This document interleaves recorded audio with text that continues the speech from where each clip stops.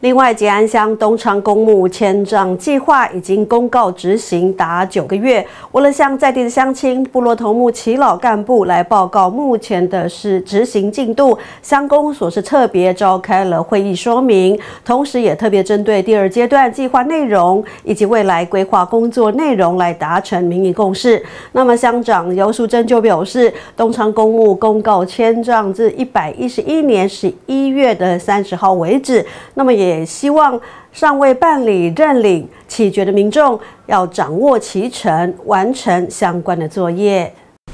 吉安乡东昌公墓迁葬计划备受关注，吉安乡公所特别召开会议来说明执行进度。乡长尤淑珍表示，东昌公墓公告迁葬日到一百一十一年十一月三十号，请还没有办理认领起决的民众要掌握其程，完成相关作业。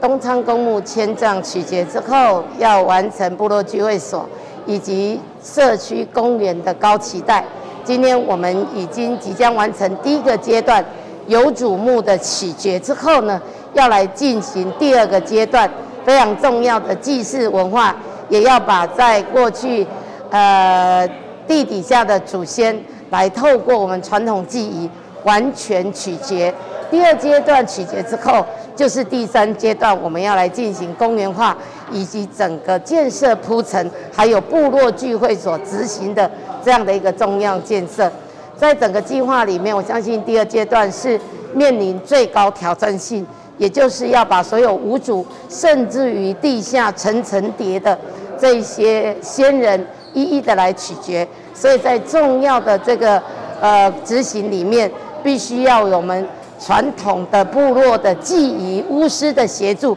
以及多元的这样的一个祭祀来做协助以外，更要请我们部落族人提供最有效的，也是最期许的一些建议跟建设来执行。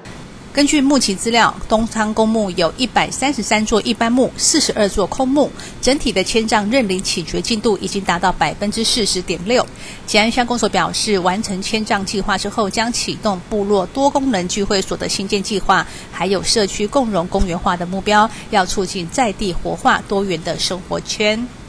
谢吕慧吉安乡报道。